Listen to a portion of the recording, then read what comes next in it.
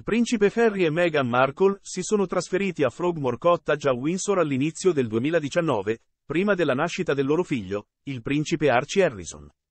Prima del loro arrivo, la residenza è stata oggetto di importanti lavori di ristrutturazione. Il duca e la duchessa del Sussex hanno stretto un accordo con Buckingham Palace per l'affitto di Frogmore Cottage alla fine del 2020, hanno rivelato i funzionari. Nel settembre 2020, poco dopo l'annuncio di aver stretto una partnership pluriennale con il gigante dello streaming Netflix. Meghan e Harry hanno rimborsato i 2,4 milioni di sterline prelevati dal Sovereign Grant per rinnovare il cottage a Windsor quando erano sposini. All'epoca, il palazzo disse che la residenza sarebbe rimasta la casa ufficiale di Meghan, Harry e Archie nel Regno Unito, nonostante si fossero trasferiti negli Stati Uniti mesi prima.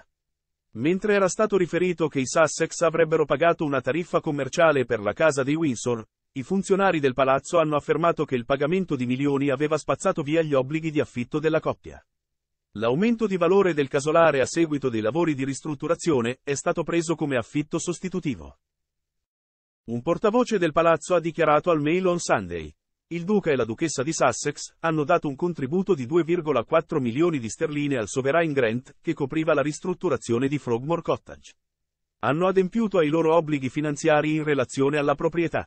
In linea con la pratica abituale per il rapporto Sovereign Grant, il trattamento contabile è stato esaminato e firmato dal National Audit Office e dal Tesoro. Come per qualsiasi accordo di questo tipo tra proprietario e inquilino, Ulteriori dettagli riguardanti gli accordi di locazione dei Sussex sarebbero un questione privata.